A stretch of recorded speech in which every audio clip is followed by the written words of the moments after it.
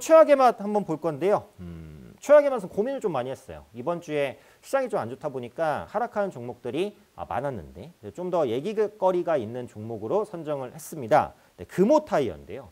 지금 타이어주 보유하고 계신 분들은 상당히 답답하실 거예요. 악재가 많은데 그런 악재들이 해소될 기미가 좀 안 보이거든요. 네, 금호 타이어 같은 경우에도 3분기 영업 손실이 545억 원 적자 전환했습니다. 시장에서 굉장히 흥미로운 호재는 뭐예요? 적자에다 흑자로 바뀔 때. 그때 주가도 탄력적으로 쫙 올라가요. 근데 반대로 흑자인데 적자로 바뀌면 진짜 안 좋죠. 그래서 이번에 타이어주들이 대부분 실적이 꺾이는 그런 모습이 나타났고요. 어, 이유는 뭐예요? 결국은 신차 타이어 공급 축소입니다. 왜? 완성차가 그만큼 적게 나오니까요. 요즘에 중고차 가격이 막 올라간다. 중고차가 뭐 신차보다 더 비싸다. 이런 말씀 많이 듣죠. 왜 그럴까요? 신차를 만들기가 어려워요. 차량용 반도체 부족 때문에. 이게 지금 당장 해소는 안 돼요. 뭐 내년에 해소될 것이다 이런 얘기가 있는데 그것 때문에 현대차, 기아차 다 출하량 줄어들었죠. 매출도 줄어들고. 그러니까 지금은 차량을 사고 싶은 사람은 많아요. 그만큼 신차 공급이 안 돼요. 그러니까 신차에 들어가는 타이어도 그만큼 공급을 못 해요. 타이어주가 지금 좋을 수가 없어요.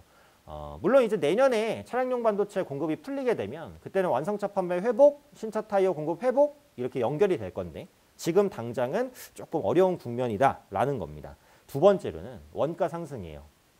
그러니까 지금 타이어 자체도 덜 팔리는데 원가도 올라버렸어. 이 기업 입장에서는 얼마나 힘들겠어요. 그래서 천연고무 가격이 인상하면서 인상되면서 원가 부담이 반영됐는데 지금 원자재 중에 안 올라간 게 뭐 있어요? 하나도 없죠. 다 올라갔어요. 천연고무 가격은 얼마나 올랐을까요? 작년 동기간 대비해서 1년 만에 40%가 뛰었습니다. 원가의 큰 부분을 차지하는 고무 가격. 타이어는 뭘로 만들어져 있어요? 고무로 만들어져 있잖아요. 타이어 만져보시면 고무인 거 금방 알죠. 근데 천연 고무 가격이 40%나 올랐기 때문에 타이어 업체는 지금 이중고에 시달리고 있다라고 보시면 될 것 같아요. 또한 물류비와 운송비용 부담도 확대가 됩니다. 그러니까 지금 운송비는 2020년 매출액 대비해서 7% 수준이었어요. 그러니까 매출액이 1,000원이면 운송비는 70원이었다는 거죠. 근데 지금 15%까지 늘어났어요. 그러니까 매출액이 1,000원이면 운송비용이 70원에서 150원까지 올라갔다는 겁니다.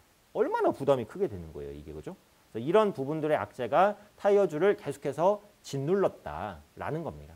지금 위치에서는 어떠냐? 지금은 이제 보유하고 계신 분들은 어차피 대부분 손실이실 거기 때문에 당장 손절하고 갈아타세요. 물론 어, 갈아탈 만한 종목이 있다면은 어, 좋아요. 근데 지금 제가 말씀드렸던 이런 악재들이 거의 반영된 주가라는 생각은 또 들어요. 그래서 지금 이 말씀드렸던 부분 때문에 새삼스럽게 급락하진 않을 것 같아요. 다만 어, 이 악재가 해소되기 전까지는 주가가 지지부진, 지지부진하겠죠. 요걸 또 역으로 보면 뭐냐면 타이어주는 지금 악재가 너무 많아요.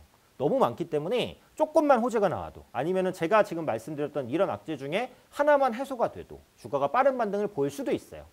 타이어주는 지금 매도할 거면 뭐 진작에 매도를 했어야 됐고 지금 매도하기는 좀 늦었다라는 생각은 들어요. 낙폭과대 구간이라고 보기 때문에 하방 경직성은 있겠다. 신규로 매수할 만하다라고 말하기는 좀 어렵지만 기존에 보유하고 계신 분들이시라면 진득하게 반등을 노리시는 전략이 조금 더 유리하지 않을까 네, 이렇게 생각됩니다. 그래서 오늘은 인포뱅크와 금호타이어 두 종목에 대해서 살펴봤습니다.